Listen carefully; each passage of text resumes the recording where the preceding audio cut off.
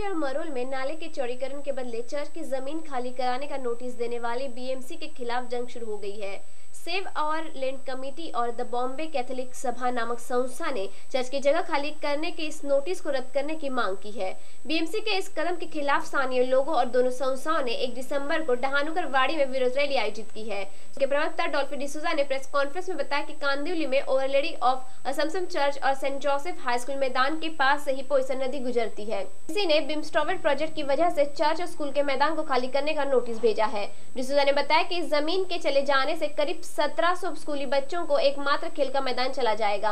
आरोप है कि ब्रिम स्पोर्ट प्रोजेक्ट के तहत ही नदी के चौड़ीकरण करने के बजाय उसे गहरा करने और कचरा निकालने का विकल्प है, लेकिन बीएमसी जानबूझकर चौड़ीकरण पर अड़ी हुई है। उन्होंने बताया कि चर्च के पास नाले की चौड़ाई पहले ही 36 मीटर है, इसे अब सत्तीस मीटर चौड़ा करना है। इसी तरह मरोल में भी एक चर्च की ज़मीन मिठी नदी के चौड़ीकरण के दौरान बीएमसी ने ले ली थी। संस्था ने एक अन्य घटना का ज़िक्र करते हुए बताया कि मालोनी स्थित सेंट एंथोनी चर्च की ज़मीन सड़क के चौड़ीकरण के बदले ली गई है।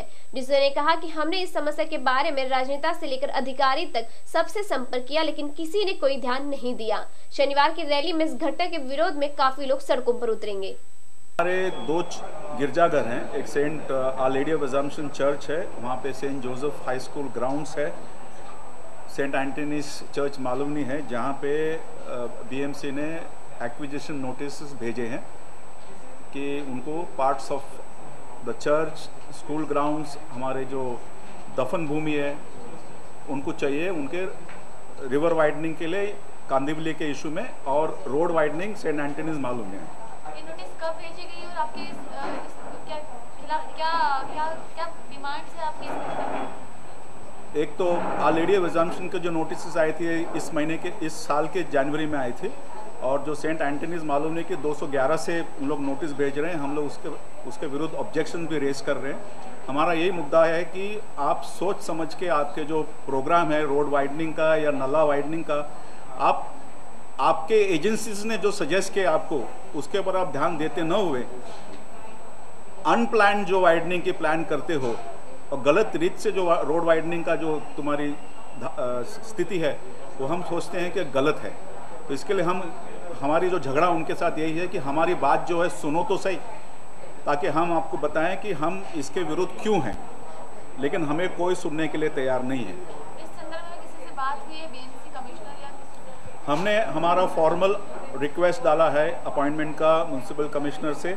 हमारी जो बात है वो हम चीफ मिनिस्टर साहब को भी भेजे हैं। कि हमें अपॉइंटमेंट दे ताकि हम आपसे बात करें और हम हम एक्सप्लेन करें हमें, हमारी क्या दिक्कतें हैं और क्या ऑल्टरनेट प्लान है। और उनके एजेंसीज ने ऑल्टरनेट प्लान सजेस्ट किए, हम तो प्लान सजेस्ट नहीं किए हैं। उसके बारे में तो सोचो? अभी जिस तरह से कहा कि क्रिस्ती समुदाय के लोग ज़्यादातर रास्ते पे नहीं आते हैं एजिटेशन नहीं करते हैं। लेकिन हम ये मानते हैं कि क्योंकि हम पीस लविंग है तो हम हम पे ज़्यादा दबाव होते रहता है। तो इसके लिए हमने ये सोच लिया इस टाइम पे कि हम ये बात, ये अन्याय हम सहन नहीं करेंगे। और दिसंबर फ़र्स्ट साढ़े चार बजे हमको कंदिवली में our lady of assumption grounds पे एमजी रोड पे हमने एक पब्लिक रैली बुलाई गई है, जहाँ पे हम, हमारी लोगों के बीच में हम ये मांगे हम रखेंगे और उसके बाद एक मेमोरेंडम गवर्नमेंट को देंगे चीफ मिनिस्टर को देंगे, सोनिया जी को देंगे और बीएमसी कमिश्नर को देंगे कि ये बात है हमारी, हमारे मसले को आप ध्यान देना।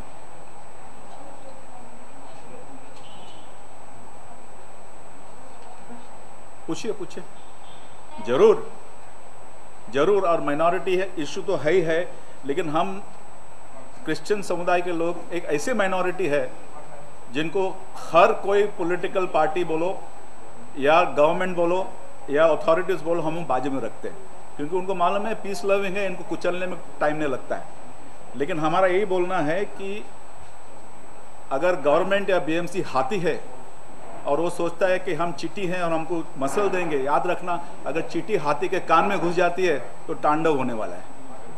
इतना हम एक चेतावनी देना चाहते हैं बहुत गवर्नमेंट को और बीएमसी को। फाइव मीटर से लेके फोर मीटर्स की मांग कर रहे हैं। वो मांग जो वो कर रहे हैं, वो अभी प्रेजेंट की मांग कर रहे हैं फॉर वाइडनिंग बट प्रोजेक्ट के हिसाब से आफ्टर वाइडनिंग उनको छः मीटर का जगह एक्सेस रोड देना ज़रूरी है। वो प्लान के मुताबिक है, लेकिन वो बात हमसे अभी नहीं कही गई है। ताकि ये हम लोग छोटे जो एरिया हैं, वो हम उनको दे दें। जब हम ये एरिया उनको दे देंगे, ताबड़ तो वो छः मीटर बाई डिफ़ॉल्ट हमसे ले लेंगे। और अगर वो छः मीटर लेंगे तो हमारा part of school building church building को तोड़ना पड़ेगा। इसके लिए उन लोग जैसे बोलते हैं ना, षड्यंत्र के टाइप पे ये एक्टिविटी किया है उन्होंने।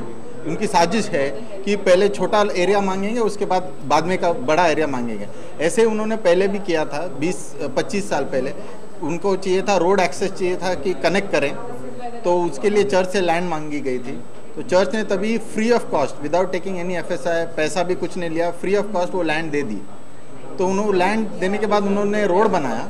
रोड बना के स्कूल के नेक्स्ट एरिया में ही एक बड़ा कचरा का डंप बना दिया, वो लैंड का। और बाकी का सब कार पार्किंग, जो बिल्डिंग में स्ट्रीट्स नहीं है, उनको कार पार्किंग के लिए वो लैंड दे दी। तो फिर हम लोग ने ये दिया क्यों? तो अभी इन लोग दूसरे तरीके से, पीछे के साइड से भी लैंड ले रहे हैं। जैसे कि ये केक है तो जिस तरीके से आप काटना चाहो, वैसे काट के खा जाओ, बाद में केक खा ली। और स्कूल के लिए जो जगह है अभी का जो ग्राउंड है, वो ग्राउंड भी 1700 स्टूडेंट्स को एक टाइम पे नहीं ले पाता। तो उसको और छोटा करोगे तो फिर बच्चे खेलेंगे कहाँ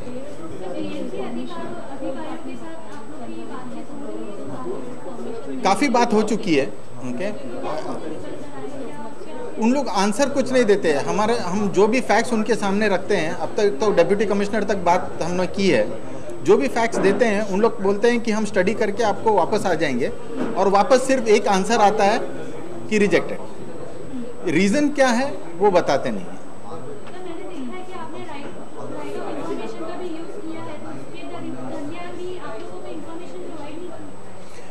काफ़ी इन्फॉर्मेशन हमारे पास आई है। उसके बलबूते पे ही हम ये जानते हैं कि ये जो कर रहे हैं वो अन्याय है।